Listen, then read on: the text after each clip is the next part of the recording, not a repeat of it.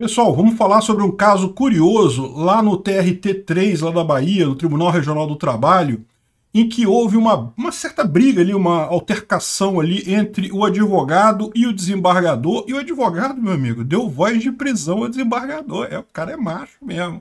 Essa notícia foi sugerida por Antilacrador, Gordelicioso e mais um monte de gente. Obrigado aí ao pessoal que sugeriu a notícia, obrigado a você que está assistindo o nosso vídeo. Se você gosta do nosso conteúdo, por favor, deixe o seu like e se inscreva aqui no canal, né? Pois bem, antes da gente entrar no caso propriamente dito, deixa eu deixar claro que eu estou emitindo minha opinião pessoal aqui, apenas sobre as informações que eu tenho da imprensa, eu não tenho detalhes sobre o processo em si, não sei do que se trata, não sei quem tem a razão, e o meu objetivo aqui é apenas é, é, entender essa dinâmica que está acontecendo, porque é uma coisa que advogado realmente tem esse problema, né? Tipicamente, embora pela lei, teoricamente, advogados e juízes estejam no mesmo patamar funcional, você sabe que na prática os juízes é, mandam no jogo, até porque no final das contas a decisão final é deles, e ficou muito claro nesse caso que o desembargador fez exatamente isso. Como o advogado não estava se comportando da forma adequada, ele acabou dando direito, ele acabou mudando o voto, decidindo contra o advogado. Então vamos entender esse caso, mas eu deixo claro aqui que eu estou vendo só uma, uma visão uh, uh, de fora, uma visão sobre o fato, sobre essa hierarquia de poder na justiça brasileira e como que isso acontece de fato. Né? Eu não, não, não estou emitindo nenhuma opinião sobre o caso concreto. Pois bem, o que, aconteceu? O, Uh, uh, o que aconteceu agora foi essa. Tem esse vídeo aqui. Foi uma sessão presencial lá no TRT3, mas para entender o que aconteceu agora, a gente tem que voltar a 2020. Em 2020, esse caso já estava sendo julgado e uh, aconteceu essa discussão entre o desembargador e o advogado. Desembargador Milton Vasques Tibal. eu vou tocar aqui o vídeo para vocês verem exatamente o que houve ele não cresceu do primeiro para o prematuro. E no segundo, ele, provejo, ele deu provimento para liberar os depósitos recursais. Doutora Maria Cristina, julgue o voto e desconsidere a sustentação oral, que só está fazendo confusão. Excelência, data venda pela ordem. Não, doutor, o senhor não está com a palavra, não, doutor. Excelência, mas uh, o, o eminente desembargador desembargador se referiu à minha sustentação.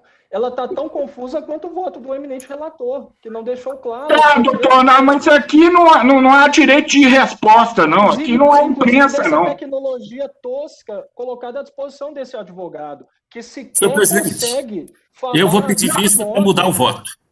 Eu vou não, dar fundamentação contrária ao meu voto. Quiser, inclusive, se quiser ir para casa do caralho, vá também, Vossa Excelência. Tá bom? Senhor presidente, vamos oficial OAB Cristina, eu peço transcrição da fita. Pariu, senhor relator, e vai pra puta que te pariu. Foda-se. Cristina, eu peço transcrição da fita. Pois não. Do, do julgamento. Espero, espero, que ela, espero que essa esteja disponível. Porque quando o eminente relator de uma outra turma falou uma coisa e saiu numa corda outra, isso não saiu na transcrição, não, meus senhores. Vocês estão ferrando então vocês estão vendo aí que a coisa já estava complicada, né? Lá no julgamento em 2020, o desembargador tinha votado a favor dele, a, votou a favor do, do, do, do, advogado. Só que aí o advogado queria pedir a palavra de novo, queria falar novamente, o outro desembargador estava é, é, receoso, não queria dar a palavra a ele, aí esse que tinha votado, o relator que tinha votado originalmente a favor do advogado, virou, olha só, eu vou pedir vista. E repara, isso de certa forma não deixa de ser realmente uma, uma forma de pressão sobre o advogado, né? É, é, o, o, relator estava falando: olha só, se você continuar desse jeito, eu vou mudar o seu, meu voto a contrário à sua causa. E, de fato, eu tenho que reconhecer que o advogado se portou de forma, digamos, pouco cortês, né? usou alguns palavrões que eu espero que o YouTube não demonetize o meu vídeo por conta disso. Foi o cara que falou, não fui eu. Mas, é, de qualquer forma, ficou uma coisa meio estranha realmente, né? Pois bem, só que o caso, então, continuou, né? O, relator pediu vista, demorou um tempinho e agora ele trouxe de volta o caso à, à corte, né? E daí, é, agora já estamos presenciais, já não é nada remoto mais. E olha só o que aconteceu. Excelência. Uma boa tarde, doutor. É, pela ordem. Não seria, porque Vossa Excelência pediu à vista e disse que, inclusive, mudaria o voto, e mudou, efetivamente. Então, efetivamente, tem o direito sim à sustentação oral. Não, senhor. Sim, o senhor conheceu e julgou por você, e, e deu provimento ao segundo agravo, excelência. Não é o senhor que dita as regras, é Não, o eu não estou regimento ditando interno. regra de nenhuma. Isso é o devido processo legal. Não sou eu. Está na Constituição. Não foi eu que criei, foram os constituintes, na verdade. Vossa Excelência, assim como eu, assim como essas crianças e adolescentes que aqui estão, todos devemos respeito à Constituição. Inclusive Vossa Excelência. Exatamente. E por não Isso. termos hierarquia entre nossas funções, Vossa Excelência tem que acolher também o direito e uma prerrogativa de poder defender as razões pelo recurso. A Constituição diz que todos são iguais perante a lei e eu não posso dar privilégio ao senhor se a lei processual e o regimento interno não permite o advogado falar depois de já ter feito a sustentação. O resultado é Eu fiz esse. a sustentação quanto ao que o senhor negou o provimento, o senhor, o não se recorda. Ao que o senhor deu o provimento, por óbvio, eu não fiz a sustentação. Do que Então, o foi senhor- então, O senhor decidido, disse que, o senhor disse que negou o provimento a ambos os recursos aqui agora, não foi isso? do que eu nós decidimos, O cabe o recurso voto. O senhor alterou o voto, eu tenho direito à sustentação oral. negativo. O senhor agora está ditando regras, o senhor mudou a lei com base em Não. quê? Vossa Excelência alterou as regras do jogo da legalidade. Com que autoridade o senhor, o senhor fez isso?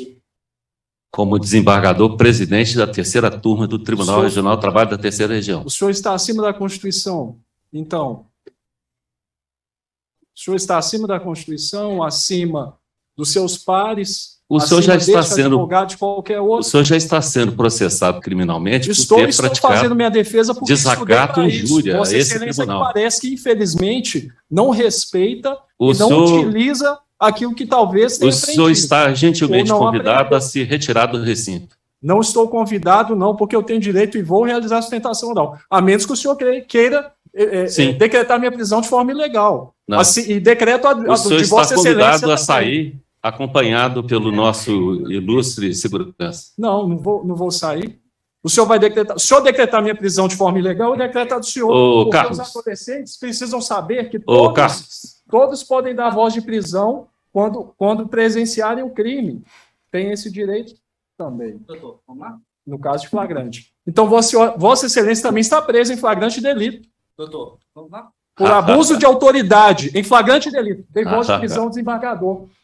Doutor, Um advogado ou um cidadão pode fazer isso. vamos descer? O senhor também, o senhor também vai, vai Não. querer- Não, eu estou fazendo meu trabalho. Você não pode me tirar daqui a Não, força. ah, ô Carlos, faz o seguinte. Vossas Excelências permitirão isso? Carlos, faz o seguinte. essa É, balbúrdia? a Vossas, vossas Excelências permitirão isso? Vossas Excelências permitirão isso?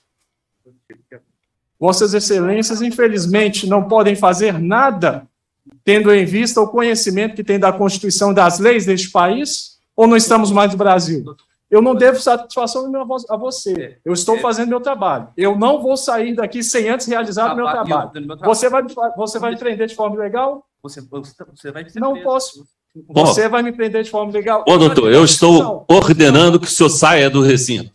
está gravado. Eu já dei voz de prisão Sim. para o desembargador também por abuso de autoridade. Aqui nesse Sim. recinto tem flagrante Sim. delito. Vossa Excelência não tem que me acompanhar. Então é mais um processo que o senhor vai responder. Vossa Excelência tem que nos acompanhar. É, não deixa de ser insólito, né? É o problema que a gente tem realmente nos tribunais. Em tese, o advogado tem o mesmo direito que o, o, ah, o desembargador, que o juiz e coisa e tal. Na prática, meu amigo, não adianta o advogado cantar de galo porque o cara faz o que ele falou que ia fazer. Ah, então eu vou mudar minha, minha, minha decisão. Ele tinha decidido a favor do advogado na primeira vez, mudou a decisão. O advogado acabou agindo de uma forma que prejudicou o cliente dele, né? E também a questão dos xingamentos ficou um negócio meio estranho nesse caso. Eu concordo que realmente não deveria ser assim. Num tribunal privado, num tribunal, numa justiça privada, certamente você teria muito menos esse tipo de coisa, até porque o juiz, o desembargador, como mandou o segurança eh, prender o cara ali, prender o advogado, para para pensar. Você acha que o, que o advogado conseguiria convencer o oficial de justiça, o, o guardinha, a prender o desembargador? Desembargador conhece o nome do cara, sabe quem é, trabalha ali no tribunal, não tinha, ele não tinha nenhuma chance nesse caso aqui. Né? No tribunal privado é diferente, porque ninguém tem o direito de prender ninguém nesse caso. E eu acho que, de certa forma, assiste razão ao advogado aqui, porque ele tem o direito de sustentar oralmente, né, no, uh, dentro do princípio da ampla defesa, qualquer novidade no processo dá direito à parte que foi prejudicada a fazer uma argumentação diferente. Você não pode tirar o direito de argumentar da parte sempre que tiver uma mudança, porque senão você está tolhendo a capacidade de defesa dela. Não que faria nenhuma diferença nesse caso, porque, como a gente sabe, o desembargador mudou o voto dele justamente por conta do comportamento do advogado, né? Enfim, é daquelas situações que a justiça estatal não tem uma resposta de fato. Eu até acho que, do ponto de vista técnico, do ponto de vista teórico, o advogado está certo em fazer o pedido de sustentação oral nessa segunda vez. Mas eu também acho que na primeira vez em que ele usou termos chulos e coisa e tal, ele foi deselegante, ele realmente é, não estava fazendo o correto, ele não estava com o interesse do cliente dele em, em, em mente, porque é óbvio. Ah, não, estamos na mesma posição hierárquica. Estamos, mas quem decide a causa no final das contas é o desembargador. Se você irritar o desembargador, se você encher o saco do cara, aí que ele vai votar contra o interesse do seu cliente mesmo. Não tem esse negócio. Ninguém convence ninguém com excesso de argumento, com, é, é, com argumentação áspera, com xingamento. Não tem isso, né? Então, é daqueles casos que está todo mundo errado no final das contas, mas não deixa de ser curioso, né? Todo mundo mandou prender todo mundo. É isso daí. Bem-vindo à justiça brasileira. Obrigado por assistir o vídeo até o final. Além de curtir, compartilhar e se inscrever no canal, considere se tornar patrocinador com valores a partir de R$ 1,99 clique no botão Seja Membro abaixo para saber as condições e vantagens de patrocinar o canal. Mais informações sobre o nosso projeto, visite nossos sites indicados na tela.